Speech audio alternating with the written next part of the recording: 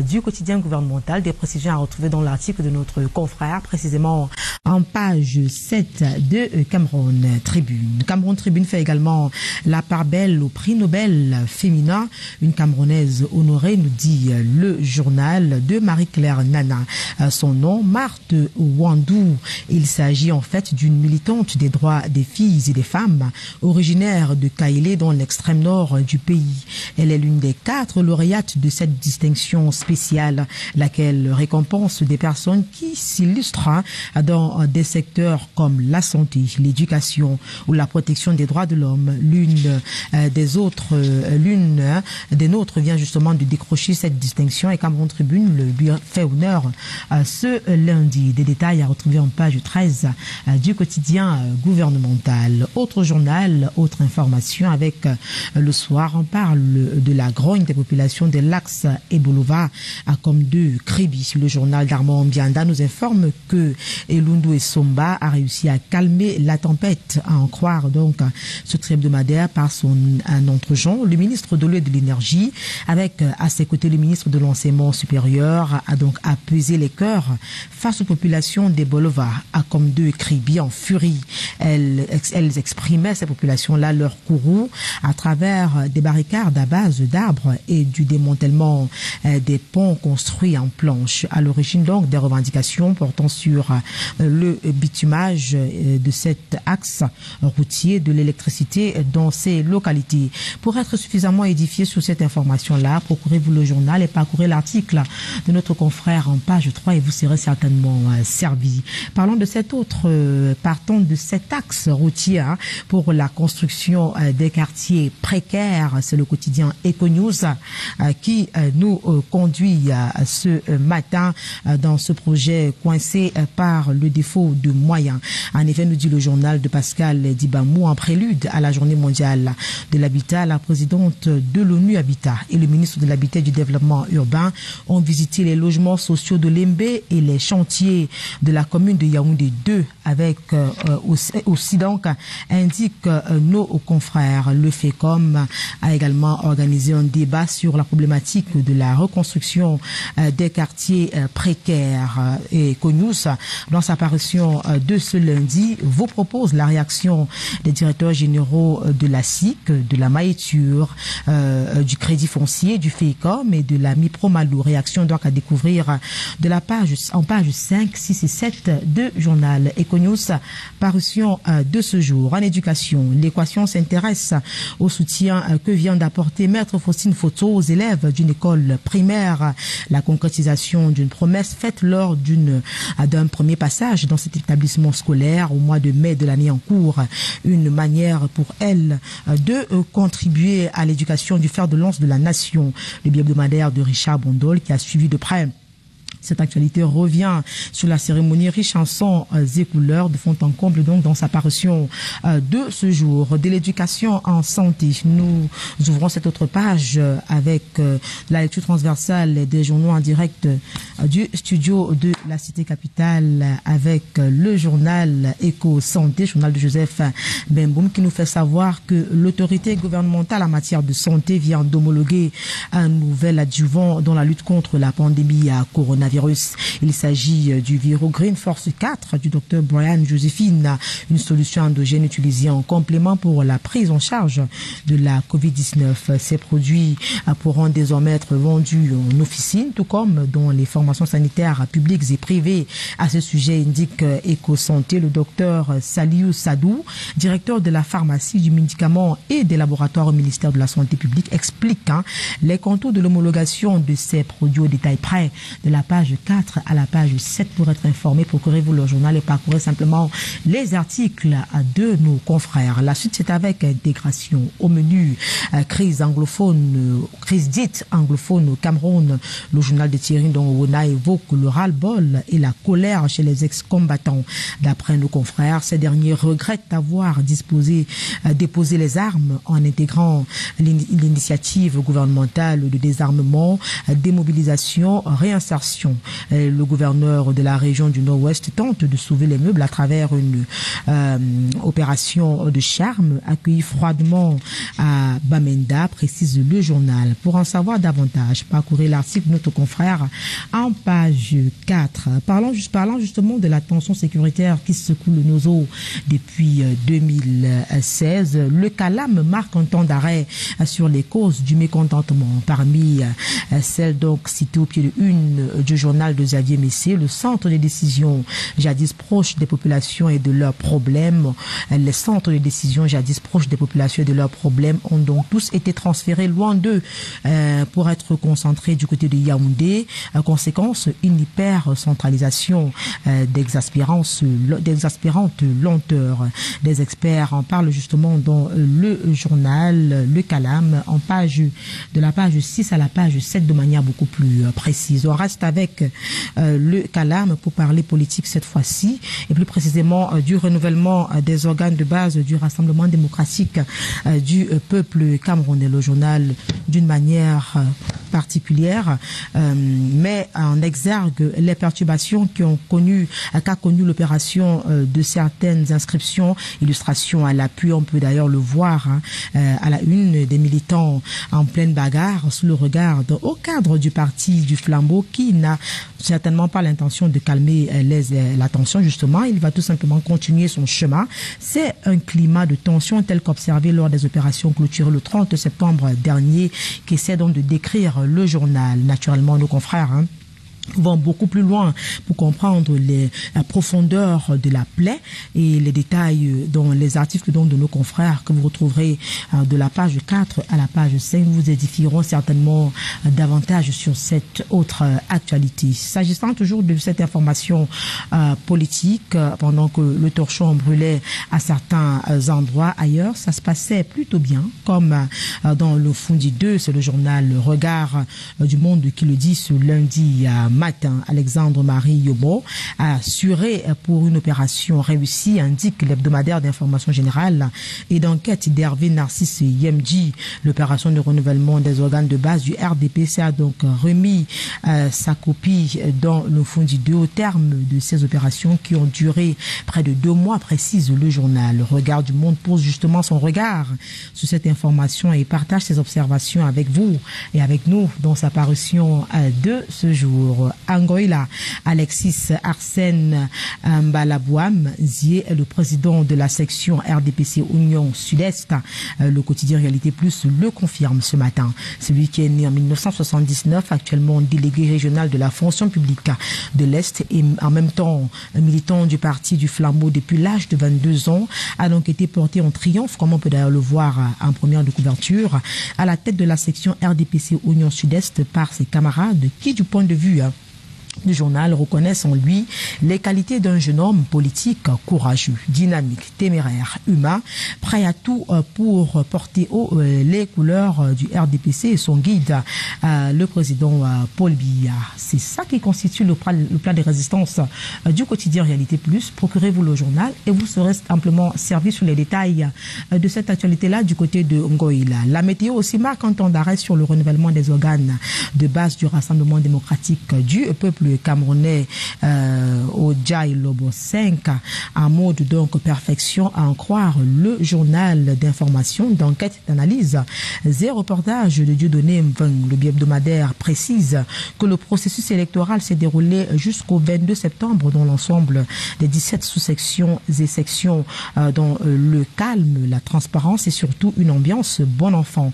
Autre précision de la météo dans euh, une satisfaction totale, le professeur Philémon Zozama a été donc porté à la tête de la section RDPC. Des précisions à retrouver en page 3. Avec le Pélican, on évoque le scrutin euh, dans la qui Centre. Le journal de Jules Brice Ngaba titre à ce sujet le passage en force de l'illégalité. En effet, nous dit l'hebdomadaire dans cette édition spéciale, en violation des dispositions euh, de la circulaire du président national du RDPC, tant sur l'organisation des opérations de base de ce parti politique, le président de la commission électorale de section pour le compte de la section RDPC Léki Centre a hier, 3 octobre 2021, ceci au, au grand mépris hein, des consigne de la commission départementale de contrôle des opérations proclamait en sa résidence de Yaoundé les résultats des élections au niveau de la section en, en l'absence de la tête de liste numéro 1. C'est le journal Le Pélican qui le dit ce matin. Les raisons et conséquences de cette action évoquée donc dans les colonnes euh, du euh, journal. La cloche consacre sa une aux obsèques de Sa Majesté Ibrahim Mbombo Njoya. Euh, le journal nous informe que 40 millions de nos ont déjà été collectés. En effet, précise la cloche sous l'initiative de Njoya Zakariou, ministre délégué auprès du ministère des Transports, première élite politique administrative du Noun, en présence du préfet Oum Donation, les fils et filles du royaume ont donc tenu une assise préparatoire euh, du côté de Fumban, assise au cours de laquelle des commissions et sous-commissions ont été constituées. Le journal vous propose l'écho des préparatifs avec sa parution, euh, de ce euh, lundi matin. Et puisqu'on parle nécrologie, le Guardian Post pense que l'institution cheval est en péril. Elle perd de plus en plus ses membres.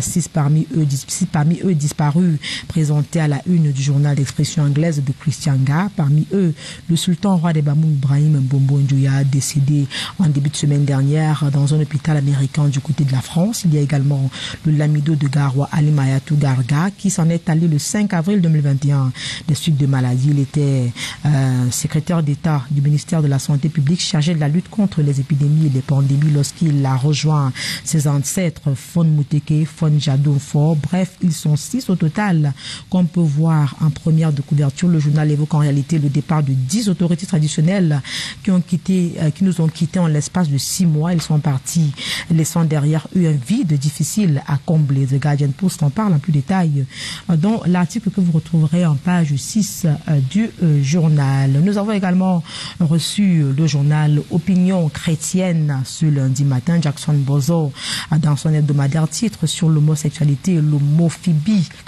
dans un jeu, dans un jeu de mots qui lui est propre. Opinion euh, chrétienne consacre son dossier à la déclaration du président Biden à la tribune des Nations Unies il y a quelques jours, condamnant et marginalisant le Cameroun de socle de l'homophobie. C'est ce qui suscite plusieurs interrogations du journal, notamment celle de savoir si le Cameroun pourra-t-il tenir face à ces pressions voilées qui sont euh, annoncées. Si oui, jusqu'à quand? C'est le dossier hein, que vous propose la rédaction avec en bonne place l'éclairage du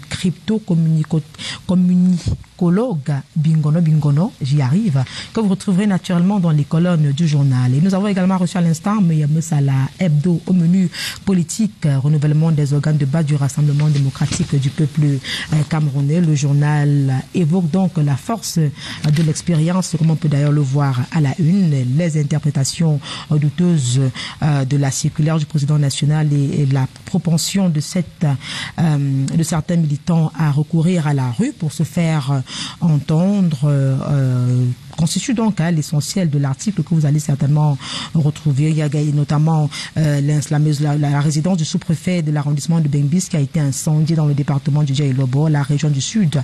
Impardonnable, précise le journal. C'est Lionel Salah Hebdo qui en parle justement dans sa parution de ce lundi. Nous avons également reçu, il y a quelques instants, quelques instants seulement, le journal La Plume. La Plume qui titre à la une embellissement de la ville de Yaoundé. Luc Messia Tangana dit, Luc Messia Tangana fait de belles infrastructures déjà réalisées euh, du point de vue euh, de cet hebdomadaire sous la houlette. Hein, euh, sous sa houlette ont été donc construites en si peu de temps un complexe commercial moderne, une station de bout de vidange et un monument qui symbolise l'unité nationale. Le journal La Plume en parle de manière beaucoup plus précise hein, dans l'article que vous retrouverez en page 5 et c'est avec donc La Plume, cet hebdomadaire de Jean-Claude Ngwang qu'on met le clé sous de la revue de presse Acte 1 en direct du studio euh, de la cité capitale. Merci d'avoir été de nous. C'est toujours un plaisir de vous servir. Vous le savez certainement. On met le cap immédiatement euh, du côté de Douala grâce à Lionel Kefe pour y retrouver Mike Chikio. Mike, bonjour. Beaucoup de plaisir hein, de vous retrouver ce lundi matin. Qu'est-ce qui fait la une des journaux du côté de Douala?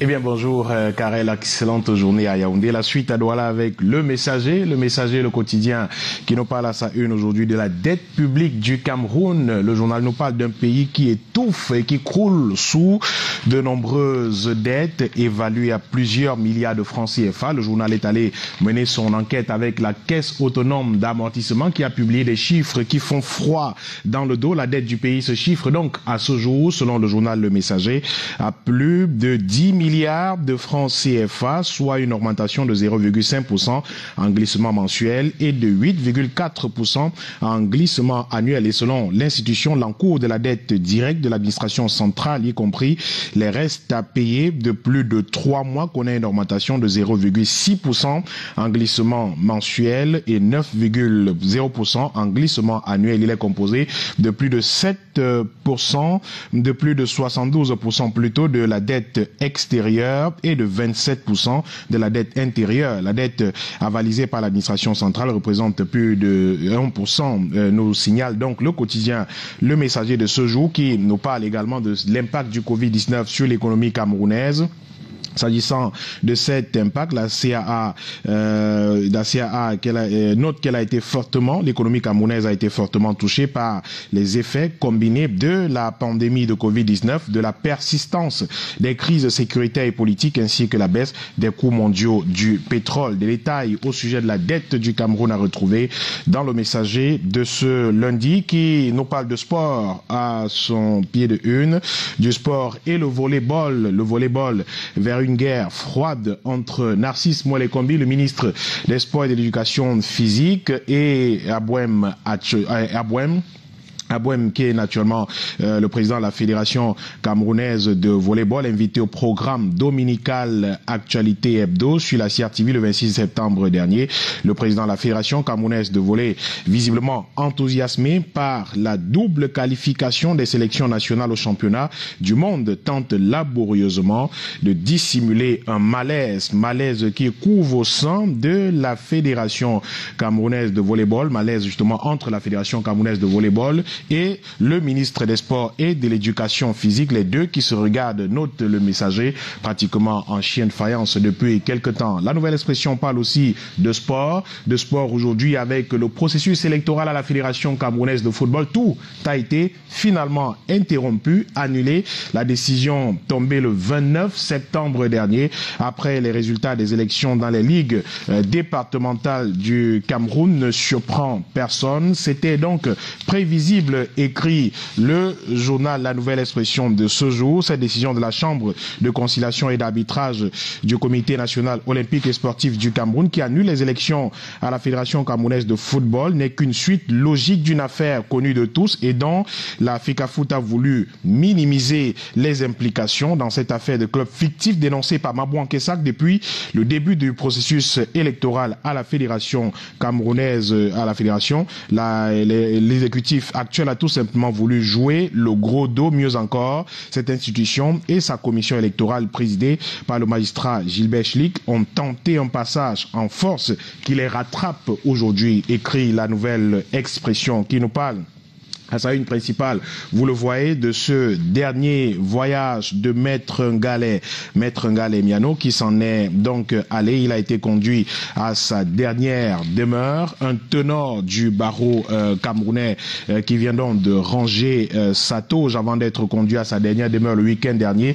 Le célèbre avocat a reçu un hommage mémorable des barons du barreau du Cameroun. Parole se joue à Maître Chungang qui parle de lui comme d'un prince du barreau, un prince de la justice un prince de la cité, un prince de la République tout simplement, qui vient de nous tourner le dos. Maître Monté parle de lui comme euh, l'homme qui faisait partie au milieu des années 90 de cette joyeuse bande de jeunes avocats talentueux, ambitieux et déterminés qui voulaient absolument porter le barreau du Cameroun sur les fonds baptismaux. Henriette Kouelu rend également hommage dans la nouvelle expression aujourd'hui. Parle de Maître Ngalé comme d'une icône du barreau camerounais qui vient de nous quitter. Il brille désormais au firmament de la galaxie des talents. Hommage du barreau du Cameroun à retrouver dans la nouvelle expression aujourd'hui. Hommage également à Koti François. Koti François, lui aussi, inhumé ce week-end. L'icône du Makossa euh, a été inhumé ce week-end dans son village natal à 70 ans. Il laisse des marques indélébiles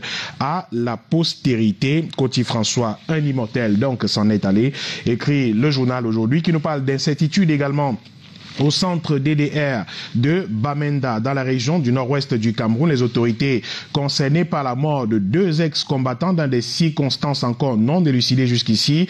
La mort de ces deux hommes au centre de désarmement, démobilisation et réinsertion de Bamenda a été annoncée par les autorités à la suite d'un incident au centre de santé de Tambak à Bamenda, dans la région du nord-ouest du Cameroun, le dimanche 26 septembre 2021. Le gouverneur de la région du nord-ouest ayant appris la triste nouvelle est descendu sur les lieux pour tenter de calmer la famille les familles très en colère et présenter ses condoléances aux ex-combattants du centre DDR de Bamenda. Il a également exprimé son chagrin face à ce qui s'est passé et a appelé les autres ex-combattants en deuil à attendre les résultats des enquêtes menées par le gouvernement pour élucider les circonstances du décès de ces deux ex-combattants. Intégration, l'hebdomadaire en kiosque également ce jour. L'hebdomadaire nous parle aussi de cette affaire au centre de DDR de Bamenda et la colère qui monte désormais dans ce centre de l'IDR dans la région du nord-ouest du Cameroun à la suite de ce décès dans des circonstances troubles de deux ex-combattants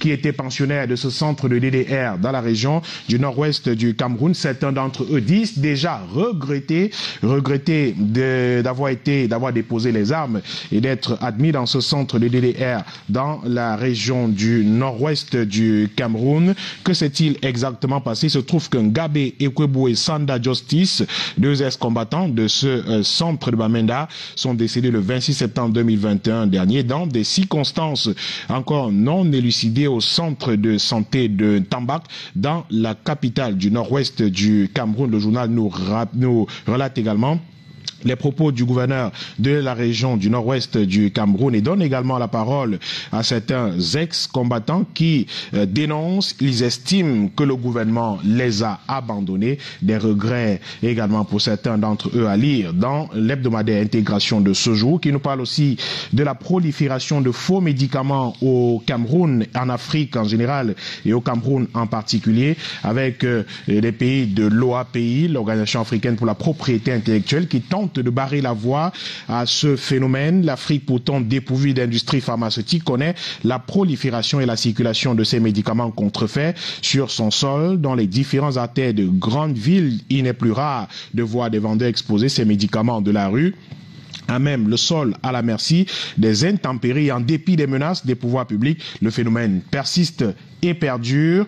L'OAPI tente donc de trouver une solution à cette affaire avec des chiffres qui appellent à l'union sacrée. La vente de ces médicaments contrefaits ou de qualité inférieure occasionne de nombreux décès au sein des populations au regard du taux élevé des victimes enregistrées sur le continent africain. Des experts invitent les pouvoirs publics à prendre ce problème à bras le corps. Des témoignages de plusieurs représentants de pays de l'OAPI qui ont pris part à cette rencontre de Yaoundé à lire dans le journal La Tribune des communautés intégration qui est paru ce lundi. L'œil du Sahel est en kiosque ce jour et nous reparle des opérations de renouvellement des organes de base du Rassemblement démocratique du peuple camerounais dans le septentrion du Cameroun. Le journal de Giba Gatama s'arrête dans la région du Nord particulièrement et parle d'un RDPC qui fait peau neuve dans la région du Nord du Cameroun avec de nouveaux euh, militants qui sont désormais responsables de sections et même de sous-sections dans cette localité. Le verdict des opérations de renouvellement des organes de base dans la région du Nord est presque connu. Une certitude se dégage tout de même. le prochain président élu à la tête de cette section sera un homme nouveau, le président sortant n'ayant pas été autorisé à briguer un nouveau mandat. Au total, ce sont donc, écrit l'heure du Sahel, près de 60% de nouveaux hommes qui trônent désormais à la tête des sections dans la région du Nord. Sur les 21 sections que compte cette région, 12 au moins occupent le poste Pour la première fois, la Palme d'Or revient au département du Mayolo-Ti où tous les présidents de section seront désormais de nouvelles figures, nous rappelle le journal qui nous livre des statistiques avec un tableau à l'appui, des tableaux qui nous donnent les résultats des opérations de renouvellement des bureaux des organes de base du RTPC dans la région du Nord Cameroun. Cependant, euh, dans le Diamaré, dans le Diamaré centre 1, dans le Diamaré centre 1 où les élections doivent être reprises, euh, les élections ont été annulé dans cette euh, section du RDPC malgré l'annulation. Donc l'ancien ministre Amadou euh, euh, Dairou, pardon, Salih Dairou, l'ancien ministre, indique qu'il n'ira plus aux euh, élections. Amadou Amidou réélu, Salih Dairou est donc en sursis. Écrit le euh, journal Salih Dairou qui déclare qu'il ne retournera pas donc aux urnes. Écrit le journal L'œil du Sahel qui nous donne également l'ambiance dans certaines localités de la région de l'extrême nord après ces opérations au RDPC. L'indépendant qui est en kiosque ce jour parle également de dégâts collatéraux, dégâts collatéraux à la suite de ces opérations de renouvellement des organes de base du RDPC. Le journal nous parle euh, d'une note, un bulletin de renseignement porté à l'attention du président de la République qui met à l'index, c'est un fils du Elobo, c'est un fils du Dja Elobo des mauvais perdants euh, de cette zone au sorti des opérations de renouvellement des bureaux des organes de base du RDPC surfent sur la corde sensible du président de la République en montant en épingle un complot contre son pouvoir. Le journal parle d'une cabale des mauvais perdants, d'un rouleau compresseur euh, doublé d'un acharnement contre euh, certains militants du RDPC, responsables politiques du département du Djaïlobo. Les détails sur tout cela retrouvés donc dans le journal indépendant de ce jour qui parle aussi de Covid Gate vers la mise en examen de gros bonnets. On n'en avait plus parlé depuis quelque temps après des enquêtes préliminaires conduites par le commissaire, euh, par le commissaire divisionnaire, chef du corps spécialisé d'officiers de police euh, judiciaire du tribunal criminel spécial. C'est un membre du gouvernement vient d'être convoqué par Madame le procureur général près le tribunal criminel spécial. De nouvelles auditions pouvant aboutir à une mise en examen, nous annonce l'hebdomadaire L'Indépendant, le journal de Max Pandio, en kiosque ce euh, lundi. On poursuit avec euh, un autre journal entrepreneur, entrepreneur qui est également paru aujourd'hui et qui nous parle de la bonne santé du port autonome de Douala, la modernisation de l'espace portuaire en marche jusqu'aujourd'hui. C'est la traduction en acte de la promesse présidentielle du 6 octobre 2011 Cyrus Ngor, le directeur général et son équipe se sont, euh, se sont appropriés euh, cette urgence. Ils œuvrent depuis quelques années pour rendre cet espace plus attractif. Ils se sont fixés pour objectif de l'arrimer aux standards internationaux. Nous annonce le journal Entrepreneur qui est en kiosque aujourd'hui et qui parle aussi d'action de développement avec le bel exemple qui vient de Gérard Motomibang Belinga. Action de développement à retrouver dans le journal Entrepreneur entrepreneur en kiosque aujourd'hui. Médiaction est également paru ce jour. Médiaction qui nous parle de ces belles actions, belles actions dans la région de l'ouest du Cameroun et à Banjoun, à Yala, Yala Banjoun en particulier, sur les pas du feu patriarche Fotso Victor. C'est bien l'honorable Albert Quinche qui confirme les attentes des populations à Yala Banjoun avec de nombreux forages qui ont été construits, de nombreux forages qui ont été construits donc dans cette localité pour pour le bonheur des populations de Yala par Banjoun, écrit le journal Médiaction. Cameroun Express est également paru, ce magazine, le magazine Cameroun Express qui revient sur les opérations de renouvellement des organes du bureau, des organes de base du RDPC dans la section RDPC Onkam Sud avec un homme, Emmanuel Néossi, qui s'en sort avec un score, un score à la soviétique, 100% dans le cas des opérations de renouvellement des organes de son parti. Les militants de la section RDPC Onkam Sud ont voté à 100% leur euh, candidat, alors qu'une certaine houle a été observée dans plusieurs circonscriptions politiques à travers le triangle national, houle caractérisée par des manifestations contre l'imposition de certains candidats par la hiérarchie du parti. Eh bien, il se trouve simplement que dans la section RDPC Onkam Sud, les consignes du comité central ont été respectées par cet homme qui se voit aujourd'hui porté au firmament, l'homme providentiel, comme le, présente euh, l'hebdomadaire Cameroun Express, toujours à l'écoute de ses camarades, assurément qu'il impulsera une nouvelle dynamique au sein de cette section dans laquelle les militants fondent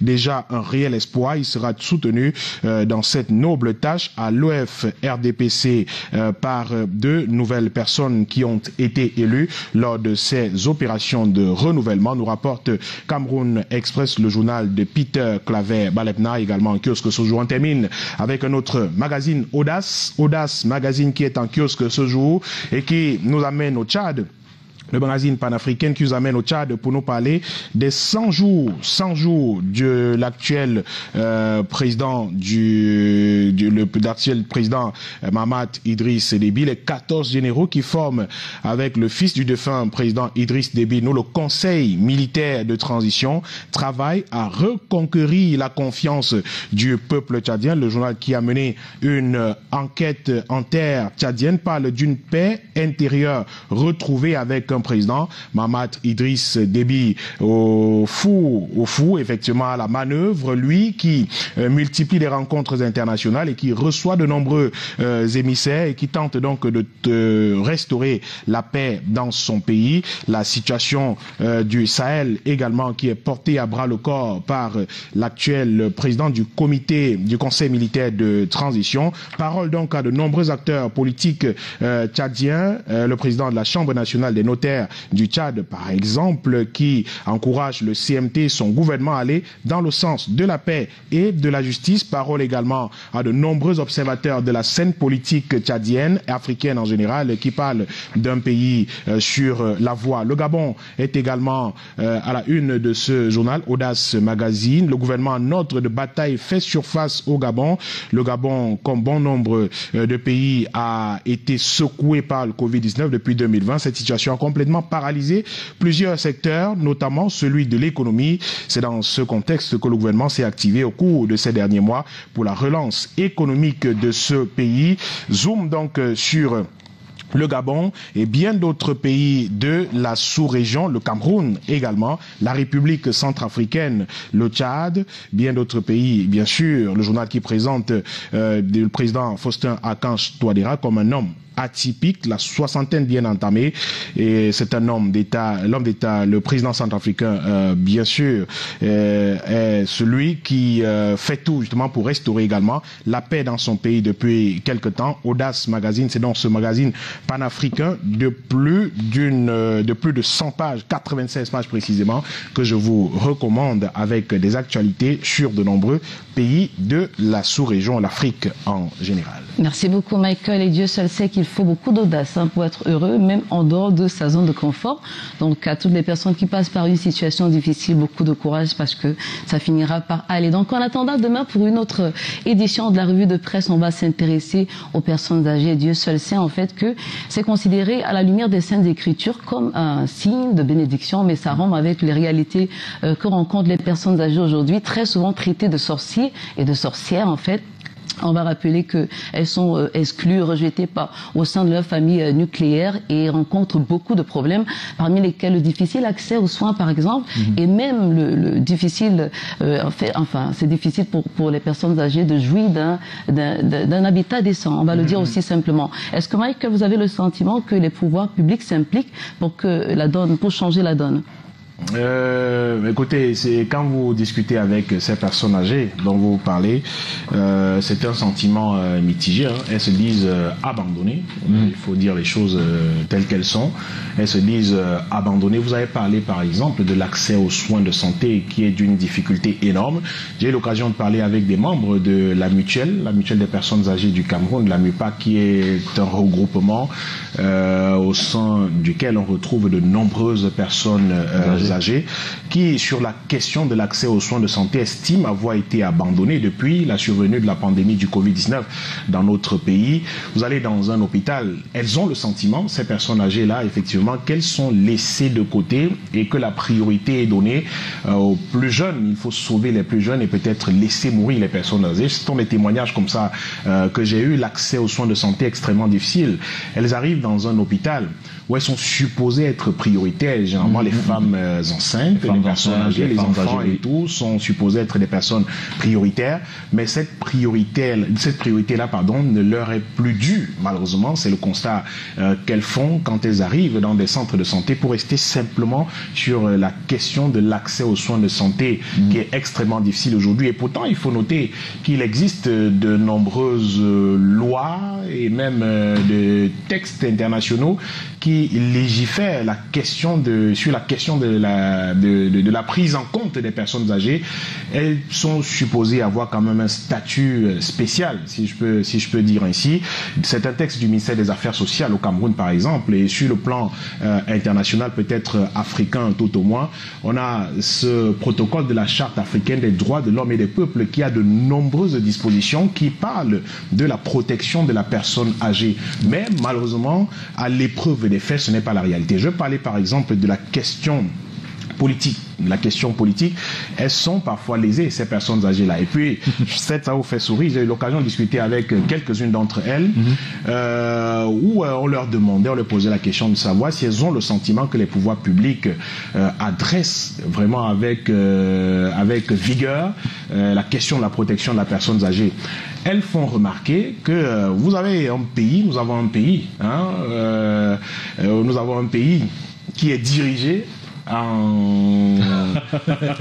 qui est dirigé, je parle pas simplement hein, du, du, sommet, pas simplement du sommet, qui est dirigé en majorité, voilà, on va le dire ici, par euh, des personnes d'un certain âge, du troisième âge parfois, par des personnes âgées, ça il faut le dire, que ce soit la présidence de la République, le Sénat, l'Assemblée nationale, oui, c'est des personnes d'un certain âge qui peuvent être considérées, qui sont des personnes âgées, pas simplement considérées, mais malheureusement, elles constatent, disent-elles, que ces personnes âgées-là ne prennent pas leurs problèmes à bras le corps. On se serait attendu à ce qu'elles soient vraiment privilégiées parce que hein, les décideurs sont, euh, leurs euh, congénères, on va dire ainsi, mais malheureusement elles sont un tout petit peu lésées, leurs problèmes ne sont pas adressés de la plus belle des manières. Vous allez au Parlement par exemple, vous verrez rarement qu'on y introduit un, un projet de loi, généralement les projets de loi qui viennent de la présidence de la République, un projet de loi euh, euh, pour, pour, pour, protéger davantage la personne, la personne âgée. Donc, euh, ce sont là quelques difficultés. Et puis, ajouter à cela, il y a la question de ce respect dû à la ah, personne âgée. Alors, dites-nous, Michael, est-ce que les maisons de retraite ou encore les EHPAD, pensez-vous que ce soit une bonne idée pour le Cameroun en particulier, l'Afrique en général. Ça va peut-être vous surprendre, mais euh, ces membres de la MUPAC, la Mutuelle des personnes âgées du Cameroun, nous ont parlé effectivement d'un projet de construction d'une maison de soja, peut-être pas euh, sous forme d'un EHPAD comme ça se passe ailleurs mhm. euh, dans des pays euh, occidentaux, peut-être pas des EHPAD, mais peut-être justement une maison de retraite pour ces personnes-là où elles peuvent se, se retrouver, où des personnes en âge très avancé peuvent également se reposer et prises en charge par des personnels parfois de santé ou bien du personnel qui les accompagne. C'est vrai, on va vous dire que ce n'est pas trop dans nos mentalités, dans nos esprits et tout. On reste avec nos parents jusqu'à euh, jusqu'à parfois la mort et tout. Mais quand le besoin vient de cette de ces personnes âgées elles-mêmes, euh, c'est dire qu'elles ont dû constater qu'il y a un manquement quelque part. Et elles appellent les pouvoirs publics à les accompagner dans ce dans ce projet-là. Il faut noter qu'il y a quelques jours, euh, j'ai eu l'occasion de les accompagner au stade de, de Japoma, ici à Douala, ces personnes âgées qui ont effectué une simple visite de courtoisie, il fallait les voir émerveillées, sourire, extrêmement contentes de pouvoir sortir, de venir elles-mêmes toucher du doigt un stade qu'elles n'ont vu jusqu'ici qu'à la télé ou bien parfois sur les réseaux sociaux, de visiter. C'était quelque chose d'extrêmement euh, formidable pour ces personnes-là. On les voyait heureuses et tout. Elles se sont dit, mais nous aimerions être davantage considérés comme ceci, avoir accès à mm. des endroits, des lieux comme ceci, de pouvoir discuter avec des gens. Considérés. Oui, effectivement. Donc c'est cette considération-là qu'elle parle jusqu'ici, de leur permettre d'accéder facilement aux soins de santé et bien d'autres. Donc, euh, euh, jusqu'ici, elles ont le sentiment qu'elles ne sont pas beaucoup considérées. Je parle vraiment en leur nom aujourd'hui, je parle d'analyse personnelle, mais je parle de ce que j'ai écouté, je rapporte simplement tout ce que j'ai entendu quand j'ai eu l'occasion de discuter avec elles. Elles sont merveilleuses, rassurez-vous, quand vous avez l'occasion de passer une journée avec elles. Euh, c'est justement le lieu où l'adage prend tout son sens. Une personne, une vieille personne qui l'UNICEF c'est une bibliothèque qui brûle parce que vous avez l'occasion de discuter 30 minutes avec ces personnes et vous racontent des choses incroyables. C'est extraordinaire tout simplement. Absolument. En tout cas, on va dire qu'une des raisons pour lesquelles on est très réfractaire aux maisons de retraite, c'est que euh, la vie euh, en Afrique a des sens communautaires. Donc, on aime garder nos grands-parents avec nous parce que on veut les, les, savoir tout près de nous, le temps de les chouchouter. C'est d'ailleurs ce que nous recommandons, chers téléspectateurs. C'est une grâce d'avoir encore ces, ces, ces grands-parents. Prenez la peine de les chouchouter, de les protéger, surtout de les aimer. Michael, demain sera un autre jour, vous serez là. Avec le même plaisir, Patricia, s'il plaît, adieu naturellement. Mais avant de partir, euh, on va vous demander ce que vous gardez comme souvenir justement de celui qu'on appelait affectueusement Destopeller, un Coty François qui a malheureusement été inhumé. Donc, euh, c'était le week-end dernier du côté de Souza Bonaléa. Eh bien, écoutez, c'est difficile de parler d'un quotidien monument comme, euh, comme celui-là. Euh, je vais dire simplement que l'artiste ne meurt jamais, malheureusement. Mm -hmm. Et je crois que c'est la nouvelle expression qui a trouvé le meilleur titre ce matin. Un immortel s'en est allé. C'est un jeu de mots extraordinaire. C'est un immortel. Mm -hmm. Encore ce matin, je l'écoutais dans les couloirs avant d'entrer ici, euh, tout simplement. Donc, je me suis même pas rendu compte que Lesto était parti. C'est un monument de la musique camerounaise qui malheureusement euh, nous a précédé dans les cieux. D'où il est il va continuer à chanter avec ceux qui l'ont précédé. Naturellement. bah, ils sont très nombreux. Et nous prions simplement que son âme se repose en vous priant aussi de ne pas vous éloigner parce qu'on on a l'intention de lui offrir euh, ben oui. l'un des tubes à succès justement euh, de cette grande figure figure emblématique de la musique camerounaise Cotier François. Le titre c'est Makossa je crois que vous connaissez bien cette chanson. En tout cas ce sera pour vous souhaiter de passer une très bonne journée. Merci beaucoup. à demain. Merci. Et puis à suivre dans ce programme, mesdames et messieurs, vous aurez donc euh, l'éphéméride. Ce sera donc euh, tout à l'heure les différentes dates qui ont marqué l'histoire du monde. Un 4 octobre, euh, lorsqu'il sera 8 heures, ce sera donc l'essentiel de l'actualité sportive. Mais avant, un clin d'œil à nos différents partenaires. À tout de suite. 13, le voting. Vote pour ton artiste favori sur la page Facebook Canal d'Or officiel. Retrouve le post correspondant à sa catégorie et sous la photo de ton candidat, clique j'aime ou j'adore. Ou télécharge l'application Canal d'Or Voting sur Play Store. Chers fans, soutenez en masse vos artistes et œuvres préférés pour augmenter leurs chances de victoire au soir du 30 octobre. Canal d'Or, acte 13, le 30 octobre. Démasquons nos talents.